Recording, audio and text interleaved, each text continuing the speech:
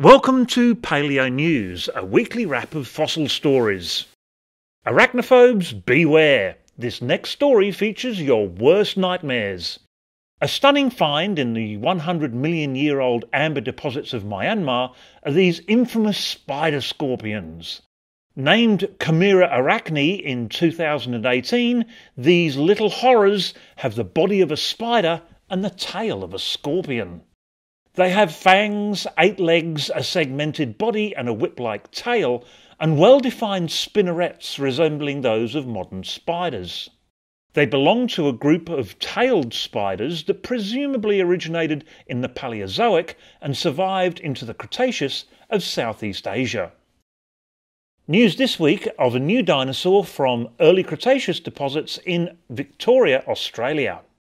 This is an Elaphrosaurine theropod known only from a single vertebra from the neck.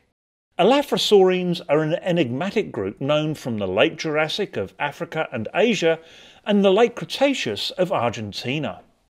The new Australian Elaphrosaurine would have lived around 76 degrees south, well within the Antarctic Circle, indicating it could tolerate a near polar environment.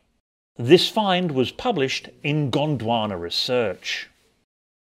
The mysterious blobs in rocks from Mazon Creek in the US state of Illinois have long created confusion among paleontologists, but this week came news that has helped identify the 308 million year old Tully monsters.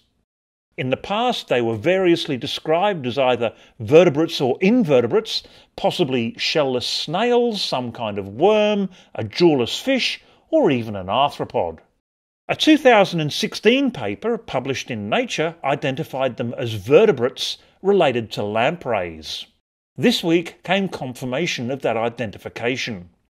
Researchers from the University of Wisconsin-Milwaukee looked into the chemical composition of the fossils and confirmed their vertebrate origins.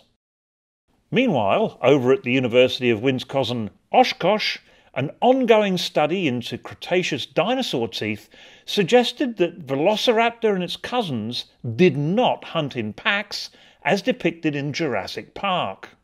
The suggestion that raptor dinosaurs such as Velociraptor and Deinonychus did hunt in packs was put forward by the famed Yale University paleontologist John Ostrom, but the evidence to support that idea has always been relatively weak. The new study looked at teeth of young and old Deinonychus and showed that they had different diets. This is more similar to Komodo dragons or crocodiles, where the young live in separate environments to avoid being eaten by older members of their own species. With such behaviour within a species, it is unlikely that individuals would cooperate to hunt in packs.